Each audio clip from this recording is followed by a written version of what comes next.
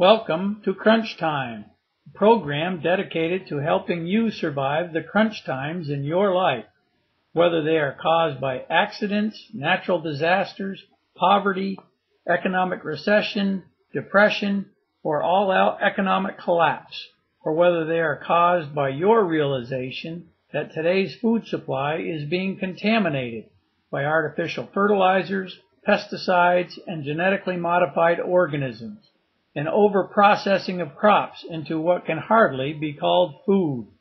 We want to help you through the crunch times in your future by teaching you what we have learned about organic gardening, food storage, and food preparation.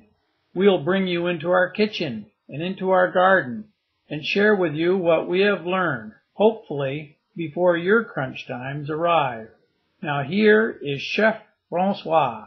All right, when we harvested the stevia leaves, took the leaves off the plant, and then we put them in a food dryer and dehydrated them, and then they were just crumbly leaves, and I just squished them between my fingers, like, or between my hands like that, into a big bowl, and then put them into uh, a Ziploc bag like this. But in doing that, we've got some fairly big chunks and the chunks don't really uh, release the stevicoids well enough. So I bought myself a mortar and pestle so that we can uh, crunch them up even more into a finer finer powder and that will release the sweetness of each little particle of leaf a whole bunch easier in this fine of a powder as opposed to this coarse of uh, flaked up leaves. Well, here's some of our favorite casserole made out of uh, some meat on top along with uh, the root vegetables that we've been harvesting, rutabagas, carrots, parsnips, and sweet potatoes. My daughter and my wife really like them. All right, 21st of October. The strawberry plants are finally starting to change colors. As soon as they're brown, I'm going to be clearing out the two walk paths and uh, trimming back the other stuff that's in the middle between the main plants that are supposed to be growing. Um, stuff inside the uh, greenhouse is growing pretty good. I just found three cabbage worms on the kale and I ate those and uh, I got a daikon from over on Shaw's property over there to bring to Ginny at church. Here's the top of it right there and there's the big daikon. It's a big one, size of a baseball bat. So that'll keep her for a week or two. 22nd of October. I have inspected the garden. Inside the uh, hoop house I found six cabbage worms. One on a rutabaga plant, some on the cabbage plant, some on the kale plant. And I ate all six of them. I also found one little white worm, similar to a cabbage worm, except smaller and white. I just picked that off and threw it away. Um, our lettuce is growing pretty good now. Getting up tall. And uh, everything in there is growing pretty good. Except the kohlrabi is not doing very good. And I have transplanted some rutabagas into the kohlrabi patch just because kohlrabis have died out. Parsnips here are doing good. Carrots are still doing good. The rutabagas are getting brown. I think what I'm going to do for storing those this winter, instead of leaving them in the ground, I think I'm going to get a big bucket like this and put it in my garage and then put the rutabagas inside of there. The garage stays fairly cool but not frozen and I'll keep it deep into the garage so even if somebody leaves the door open it won't it won't freeze plus the mass of all those rutabagas together will will hold the uh, the temperature fairly well inside that bucket. And I think I'll cover the bucket with, uh, I don't know, a piece of plywood or something just to keep the light out of it. The peas, they got a little bit frost, grayness, whatever. And but this next week should have some good growing weather for that, and we might get some flowers and some peas. And I'm hoping we do. Um, the fennel that I cut the main stalks down, they're still growing well. I don't know if they grow through the winter or not. I'll find out. But even if not, I'm gonna leave a couple for seeds. And also the three mangels that I've got left, the giant beets. You can see three of them there, four of them. I'm going to leave at least two of those to go to seed in the spring. Strawberries, another couple weeks I'll be able to get in there and trim all that stuff out and clean it out and make a couple rows that I can actually walk through there with. So, after the end of this next week, I may be closing the uh, hoop house up keep the uh, cold weather out and be able to grow our crops through the cold weather. But it's doing real good. The asparagus patch over here, Chow has cut the asparagus off basically at ground level and then sprinkled some uh, mulch, leaves, dead leaves from the uh, compost pile, and then sprinkled some dirt on top of that. And so in spring, these are all going to be big enough that we're going to be able to eat the shoots and uh, make some really good asparagus next year. Blackberry plant. You can see that the uh, branches have bent down and then I've got rocks sitting on the ends of the branches. That is to get them to root out here where the rocks are. And then we'll be able to clip the branches before the rocks. They'll be able to come back up and those will actually bear fruit next year. I've got two more branches that I haven't pinned down. There's one here. There's another one back here. It actually is pinned down a little bit. And a little short one back in there that goes through the fence. I could take those three and uh,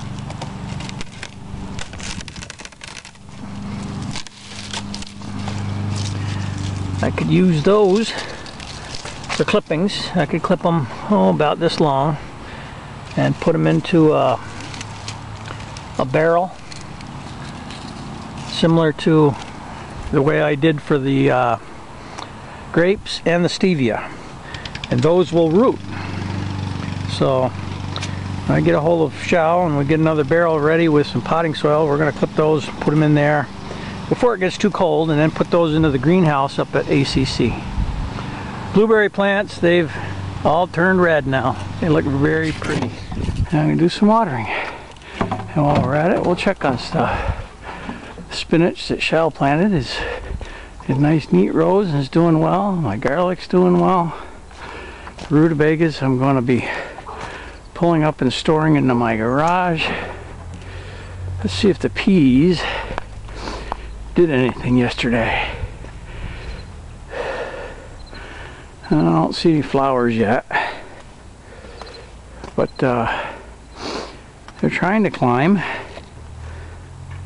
These rutabagas out in the weather I really need to cover them. Maybe I should transplant these three over there on the back row and then cover from there over somehow. I'm going to take some of this spinach home today.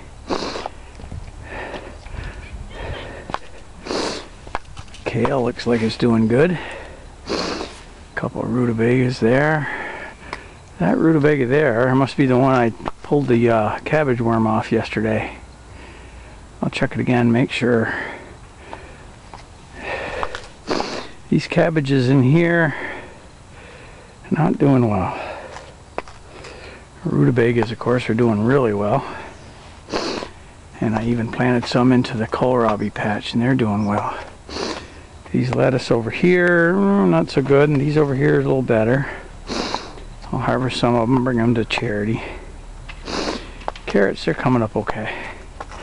Strawberries, doing real well inside. Reach down in around them first and see how big they are. Yeah, this is a good size one. Let's see if I can get it up. Yeah. Now that's a good parsnip. A little bit split open and eaten by crickets or whatever they are, but ooh, this is gonna be a big one too. Ugh. Yeah, all I'm gonna need is two when they're like that. One of these buckets that I've been using all spring and summer and fall to catch water off the roof to use in the garden, I'm going to empty and I'm going to use for a root cellar. And uh, I'm going to dump the water out. I'm going to bring over some cold sand, put it at the bottom, put my roots, rutabagas and carrots and parsnips or whatever, put them in there, cover them up with wet sand, and then put the cover on top. And uh, it's going to be similar to Shao's root cellar he's got in the ground. And we'll see how it works.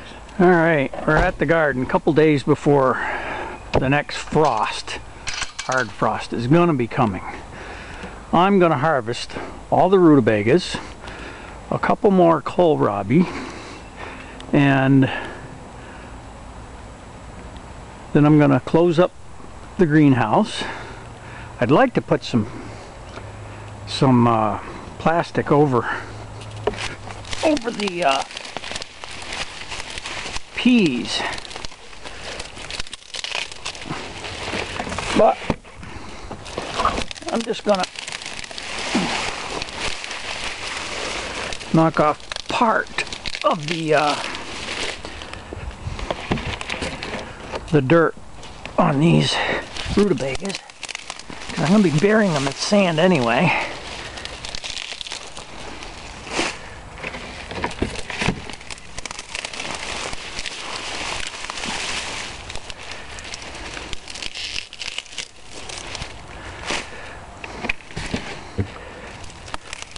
I want to go over and show you the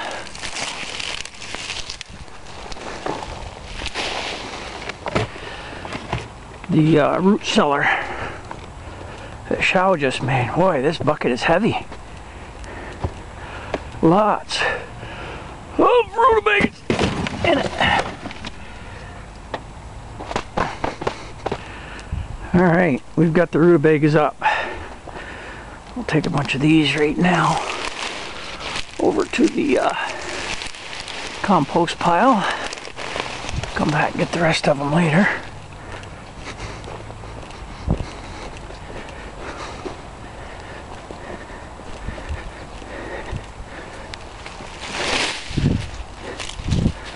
Those are edible, but they're a little bit brown right now.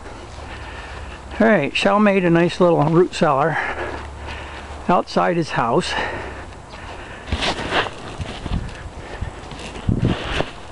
Right under this green carpet right here. You just take the green carpet, roll it back, open up the cover, pull out a bag of foam and then down in here he's got daikons on this end and rutabagas on the other side. Here we got another bag of foam and there's um, a rutabaga and some more daikon.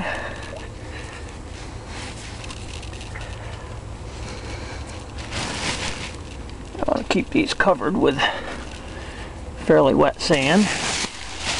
These got rutabagas down in here, big ones. Big huge rutabagas. Right down in there. And I'm going to be doing something similar to this in my trash can in my garage. Except I won't need the insulation like he's got in these bags.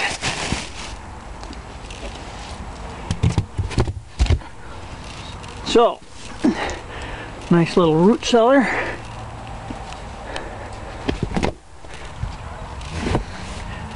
Right up against the building, under the eaves, and uh, that will keep those root vegetables. He's already got most of his daikons up. He's got a few more over there. And this new patch he's got over here still growing, so they will uh, be okay. Alright, I'd like to put a piece of plastic over these peas, but I don't know if I'm going to get to that today. These are my rutabagas that I've already put put uh, plastic over. They're they're nicely secure. I'm going to go ahead and unlock both sides of my uh,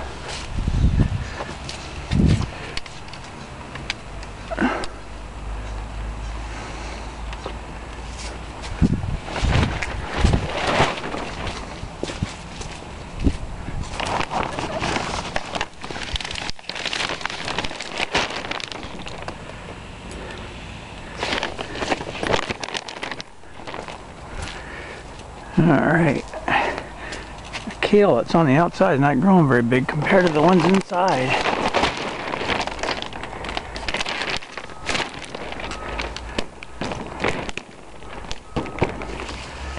Alright, those are lining up good.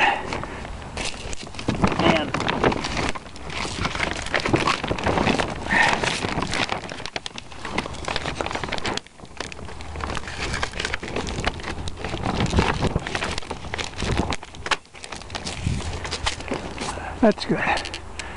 Now, roll this down. And when I get it down, I'll put the snaps on it. Oh, I want to put some hay down here on this dirt first before I get it down there. So I'm going to take a break go get my hay. Okay, I've got some straw that I had bought way back this spring.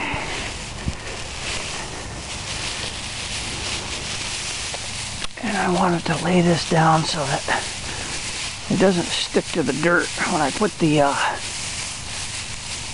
the plastic down. There. Now I can roll that down.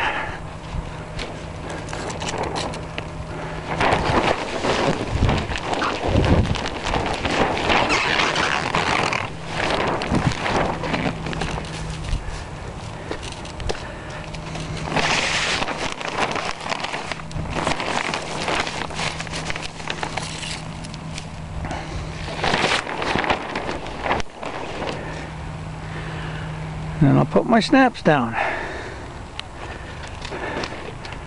Starting right here.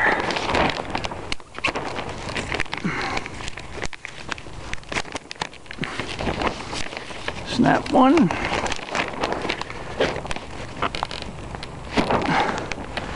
Snap two. Three. This one I think I'm going to go the other side with. And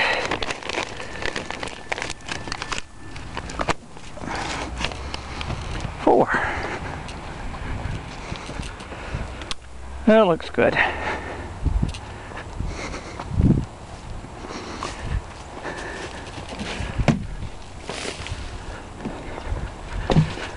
Over here, I may put some down across the bottom as well. But before we close it up, I want to view the spinach the yellow heart greens, kale, rutabaga down here, the cabbages and rutabagas mixed, the rutabagas alone. On this row, rutabagas and kohlrabi on this row, lettuce across there, of course uh, strawberries in there, and carrots in there. So now I'm going to go ahead and close this side up.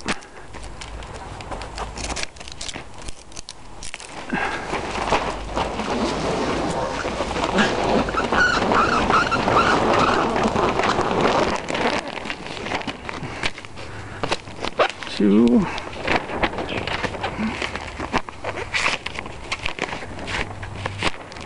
Three.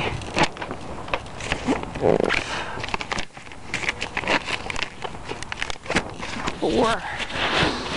Alright, we pulled up a bunch of rutabagas. I mean, yeah, rutabagas. Now these last couple kohlrabi that are getting way too big. This one and this one. I'm going to pull. The last three I'm going to leave for seeds. Mean, two kohlrabi along with the rutabagas. We're going to put in the root cellar that we're going to make. Along with all these rutabagas in here. So, I've got some moist sand that I'm going to bring over to the house and uh, put into that trash can that I was using to catch water off the roof. Here, I'll show you the, the hay we've got just to seal up any gap and keep the uh, plastic from sticking to the to the dirt. We've got hay across the bottom on both sides, but not on the ends. The ends, I may put some hay in there as well. But while we're here, see what it looks like from the inside.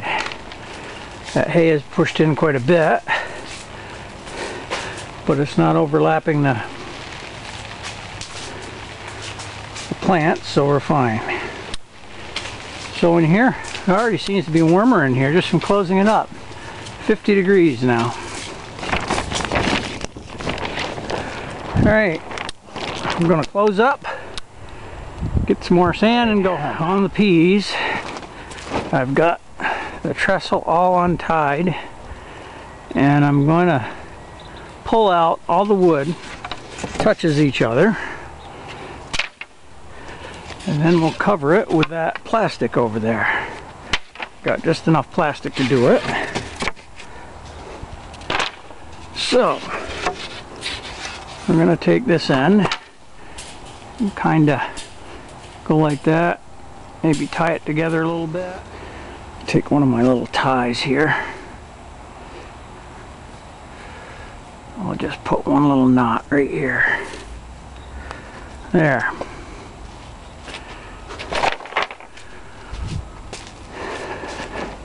And I know this is long enough to go over.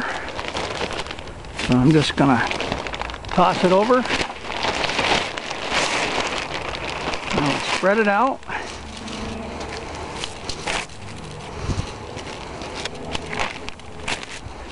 Not completely closed in, but at least it'll protect it from some of the cold. Had a little bit more plastic, I could cover the ends as well. Alright, we are in my garage, which is not heated. However, it does have heat on the other side of that wall, heat on the other side of that wall, and heat upstairs. And cold there and there. Um, I'm going to take some sand here out of the uh, container put it into the barrel that I cleaned out earlier. One that I used to water off the roof with. Alright, I've got about, I don't know, five, six inches on the bottom. And I'm going to put three big rutabagas down there. One. Here's a big one. I'm just going to set them right down in there. Sand all the way around them.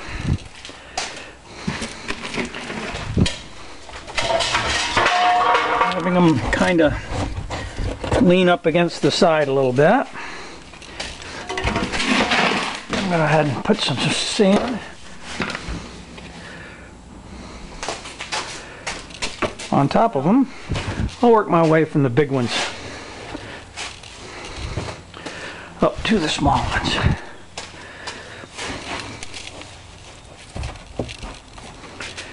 Alright, I'm going to throw some more sand in.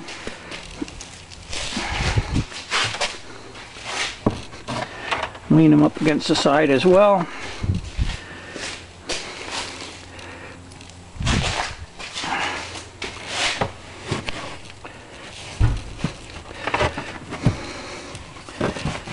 And I'll have, them laid like that. Put a little bit more sand. Now I didn't bring any uh, parsnips or carrots. They can stay in the ground for a while more. Frost won't hurt them any until it gets really cold. Kohlrabi, we will just lay in there like that and like that. Now cover it with sand. That's all the sand I really need, just enough to cover it up. I might just put a little bit more since I've got it here. I don't need a lot more. And when it comes time to dig them out, I'm going to want something to put the sand in. My cover on, and there's our root cellar. I think it's about time I share with you the gospel of Jesus Christ. According to the Bible in Romans 3:23, all of us are sinners and we do not measure up to God's perfection. Romans 6:23 says, "The penalty of sin is death, but the gift of God is eternal life through Jesus Christ our Lord." Yes, Jesus came to earth as a man to pay the price for the sins of mankind. Romans 10:13 says, "Whosoever shall call upon the name of the Lord shall be saved." Saved from the penalty of eternal death. The payment Jesus made for our sins is only available to those who believe and trust in his fulfillment of God's promise to save the world from their sins. If you want to take part of the resurrection of life, you must believe and accept the gift of eternal life that Jesus has provided. Or you could reject the gift and take part in the resurrection of damnation unto eternal death. God loves you and has provided a means of eternal life if you will believe and accept the gift. I have accepted and my life has been changed as the Bible tells us it would.